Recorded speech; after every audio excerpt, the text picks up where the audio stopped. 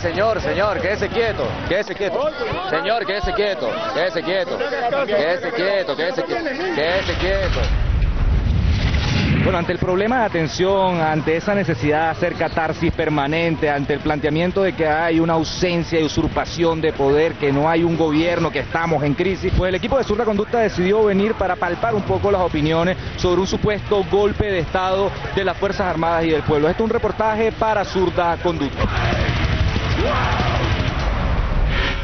María Corina Machado, vamos a ver si la podemos entrevistar y qué nos dice sobre la usurpación del poder.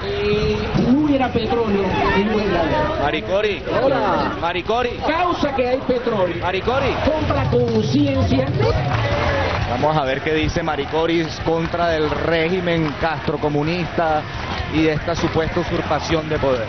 Esto representa el golpe más terrible a la soberanía que puede tener. Golpe la soberanía.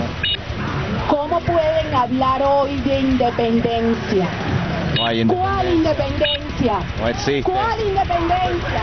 También en esta hora crucial de Venezuela, este régimen se ha deslegitimado. Deslegitimado. Toda autoridad usurpada es ineficaz y sus actos son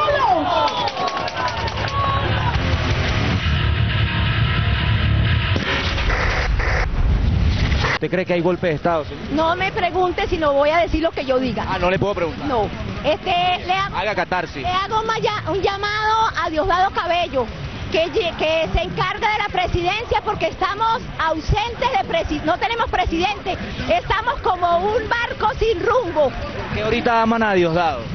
No lo amamos, sino que por, por la constitución tiene que encargarse de la presidencia porque el ciudadano presidente está enfermo. Golpe de Estado y no hay crisis, ¿no? No, no. Tampoco hay crisis, ¿verdad? No, no, yo no he visto. Estamos bien, ¿no? Yo creo que estamos bien. Hay golpe de Estado, hay, go- hay golpe de Estado como lo están planteando. Yo creo que en este momento hay una usurpación de autoridad. Usurpación de autoridad. Una usurpación de autoridad. Pero O sea, Nicolás Maduro usurpó la autoridad. está legitimado por una sentencia del Tribunal Supremo de Justicia y hay que ir contra la sentencia del Tribunal Supremo Claro, de Justicia claro. por la vía institucional. Yo creo que Insulza se adelantó a- al, porque creo que ni siquiera había leído la decisión, pero en todo caso Insulza no es el, el órgano encargado de corregir las inconstitucionalidades en Venezuela ni las violaciones a los derechos políticos. Por ello, pedimos un voto de censura a ese señor que lo que hace es venderse a cambio de alguna preventa. Pero soy venezolana y nadie voy a aceptar injerencia de otro país a que me venga a insultar a mí. Ah, eso es lo que es una vergüenza. ¿Cree que hay golpe de Estado, señor? No apoyo ningún golpe de Estado, pero aquí están violando toda la constitución. Ah, Antes ustedes pedían que se fuera Chávez y ahorita piden que regrese. no, que re- no señor, no, que regrese, que regrese, antes que, antes que tener, antes que tener esos dos, esos dos alacranes que se están matando, que se están matando, se están matando. Así que no, no quiero ni Cuba ni nada.